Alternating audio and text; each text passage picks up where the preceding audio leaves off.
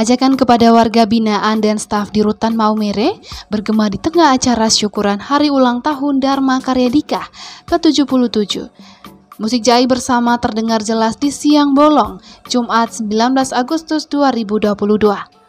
Ajakan yang keluar dari Pak Datus, Kepala Satuan Pengaman Rutan Kelas 2B Maumere, yang mana Adiodatus dari nama lengkap pria asal Kabupaten Ende ini, ingin jajaran dan semua penghuni rutan berbahagia bersama di hari lahir Kementerian Hukum dan Hak Asasi Manusia Republik Indonesia. Sesaat setelah ajakan itu, bunyi lagu Jai dari Bajawa pun diputar. Hentakan kaki dan teriakan serta sorak-sorai pun bergema di lapangan rutan Maumere.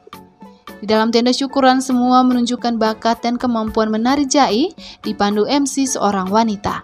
Semua terlihat mengekspresikan cara dan gayanya masing-masing saat menari jai.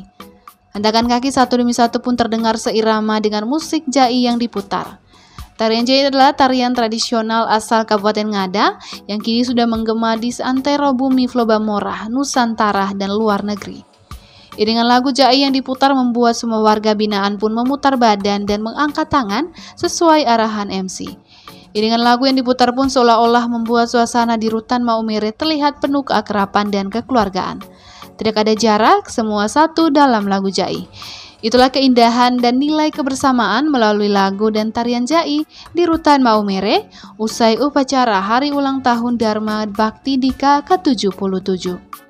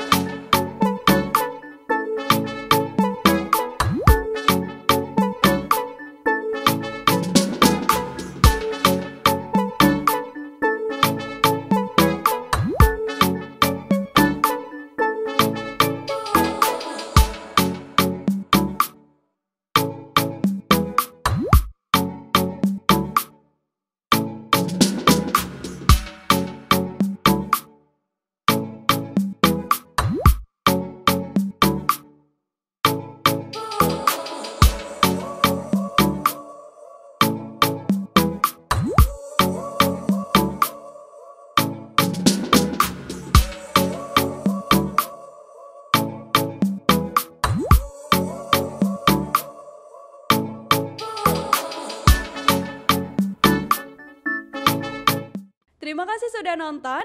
Jangan lupa like, subscribe, dan share ya.